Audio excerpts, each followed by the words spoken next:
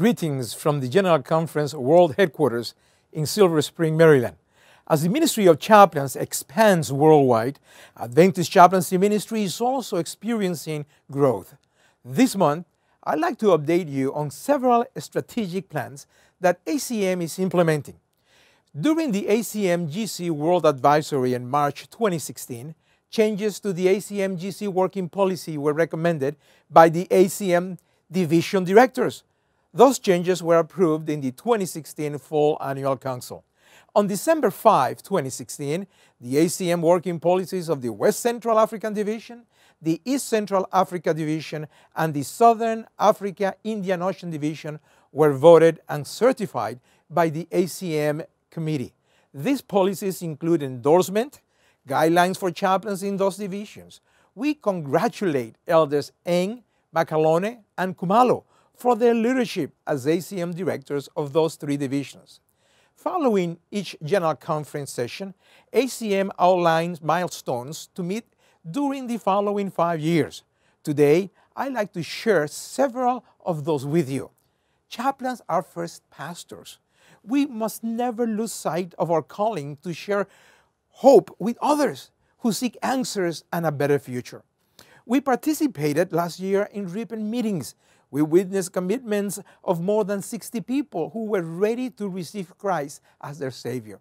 Many others continue to study and prepare for baptism.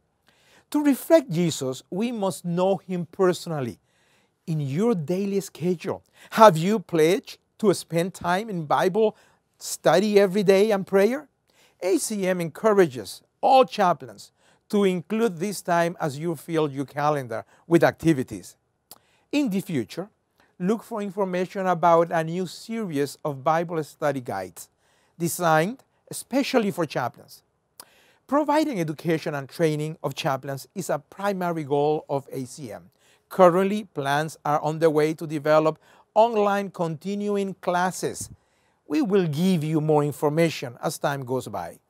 Did you know that ACM serves as an umbrella organization for the World Service Organization?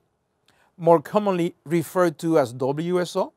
The WSO is the official military relations department of the World Seventh day Adventist Church.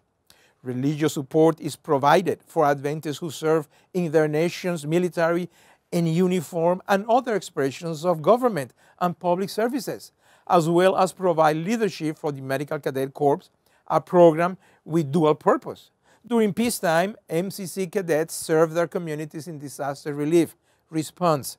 But if Adventists are faced with compulsory military service, their training allows them to serve as non-combatants. Soon you will also hear more about a program called Adventist Service Corps.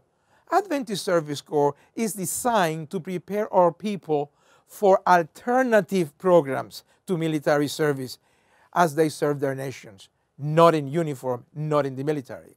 WSO functions at the world level and the National Service Organization provides oversight at the division level in each of the 13 regions of the world.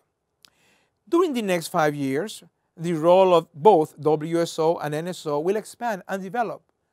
You soon will hear more about a WSO initiative of organizing a worldwide conference on non-combatant. Keep up to date with ACM activities through our Facebook group called Adventist Chaplaincy Ministry, on our Twitter feed at Adventist Chaps. You can also create a profile in the ACM database. You will find all the necessary information on our website at adventistchaplains.org.